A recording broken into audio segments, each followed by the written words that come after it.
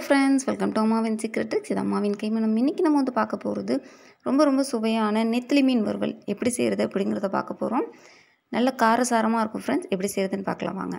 ஒரு பவுலில் ஒரு கால் டீஸ்பூன் மஞ்சள் தூள் சேர்த்துக்கலாம். ஒன்றரை டீஸ்பூன் வந்து மிளகாத்தூள் வந்து சேர்த்துக்கலாம். உங்களுக்கு காரம் எந்த அளவுக்கு தேவையோ அந்த அளவுக்கு சேர்த்துக்கோங்க. மல்லித்தூள் ஒன்றரை டீஸ்பூன் சேர்த்துக்கலாம். மிளகுத்தூள் வந்து ஒரு டீஸ்பூன் சேர்த்துக்கலாம். சோம்பு தூள் வந்து அதே ஒரு ஒன் ஒரு டீஸ்பூன் அளவுக்கு சேர்த்துக்கலாம். கொஞ்சமாக உப்பு. புளிப்பு சுவை வேணுங்கிறதுக்காக நீங்கள் வந்து லெமன் சேர்த்துக்கலாம். இல்லைனா புளித்தண்ணி இருந்துச்சுன்னா கொஞ்சமாக சேர்த்துக்கலாம். இஞ்சி பூண்டு பேஸ்ட் வந்து ஒரு ரெண்டு ஸ்பூன் சேர்த்துக்கோங்க. கரம் மசாலா ஒரு முக்கால் ஸ்பூன் சேர்த்துக்கோங்க. நான் லெமன் சேர்த்துருக்கேன். புளிப்புக்காக. எல்லாமே நல்லா மிக்ஸ் பண்ணி விட்டுருவோம். கொஞ்சமாக தண்ணி விட்டு மிக்ஸ் பண்ணிக்கலாம். லாஸ்ட்டில் வந்து பார்த்திங்கன்னா கொஞ்சமாக வந்து ஆயில் விட்டுக்கலாம். ஆயில் இருந்தால் தான் வந்து உங்களுக்கு மசாலா வந்து மீனில் ஒட்டும். பிரிஞ்சு வராமல் இருக்கும். அதனால் ஆயில் சேர்த்துக்கோங்க. கொஞ்சமாக ஆயில் சேர்த்துக்கிட்டு நல்லா மிக்ஸ் பண்ணிவிட்டு நம்ம ஒவ்வொரு மீனாக எடுத்து போட்டு அதில் நல்லா மசாலா ஸ்ப்ரெட் ஆக வைக்கணும். ஸ்ப்ரெட் ஆகிட்டு எடுத்து வச்சிடலாம்.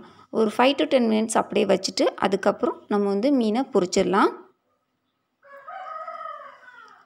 மீன் பொறிக்க ஸ்டார்ட் பண்ணுறதுக்கு முன்னாடி உங்களுக்கு ஒரு இன்ஃபர்மேஷன் ஷேர் பண்ணிக்கணும்னு நினைக்கிற ஃப்ரெண்ட்ஸ் எல்லா ஃப்ரெண்ட்ஸ்க்கும் தெரிஞ்சிருக்கா அப்படின்னு எனக்கு தெரியல.